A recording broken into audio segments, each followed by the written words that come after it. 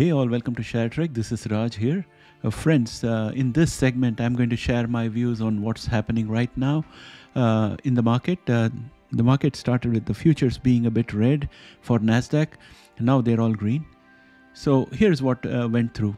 The second quarter revised GDP data showed that the US economy grew lower uh, than previously announced and uh, it came in at 2.1% against the previous estimate of 2.4%. So that's a 0.3% uh, uh, below what was earlier declared, and that's significant.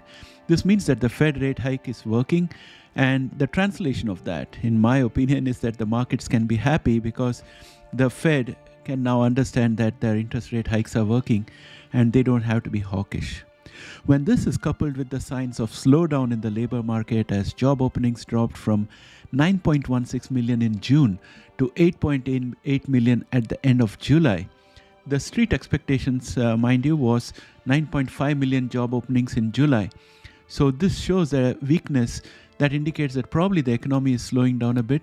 Again, this will allow the Fed to relax a bit and boost the stock market as these two data points indicate an economic slowdown and potential relief from high rates. And also, it kind of helps uh, one visualize a soft landing uh, because 8.8 million against 9.5, the shortfall is significant once again. Another data point in the report that showed that fewer people quit their jobs was also, I think, a factor that boosted the market sentiments. Ideally, when you see that um, fewer people are quitting their jobs, uh, it would be a negative sentiment. But in today's market, with a tight job market, uh, this would indicate that people recognize that staying with their current job is advantageous. One of the main reasons why people change jobs uh, could be to get higher salary, which in turn feeds into inflation.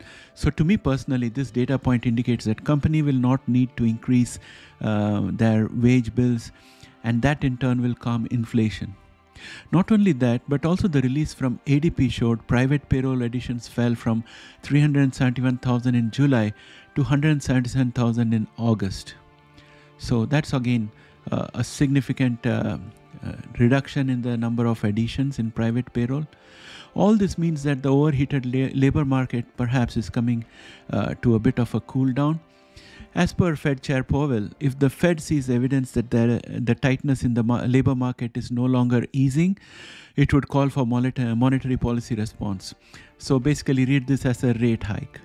So clearly, in this case, at this point of time, based on the data releases, uh, the Fed has not got a reason to ra- hi- hike the rates because of the labor market.